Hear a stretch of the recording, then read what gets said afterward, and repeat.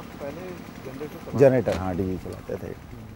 DG में हज़ार से पंद्रह सौ रुपये पर डे का एक तो खर्चा आता था। दूसरा ये है कि कभी ये टूट फूट कभी वो टूट फूट कुछ ना कुछ लगा रहता था। उससे हमारी सेल पे बहुत फ़र्क पड़ता था। मान लिया दस मिनट के लिए डीजी सेट में फॉल्ट आ गई तो दस मिनट में कस्टमर दूसरी पंप पे चला जाएगा। रुकेगा नहीं कस्टमर के पास टाइम नहीं है। इसमें चौबीस घंटे हम सेवा दे रहे हैं।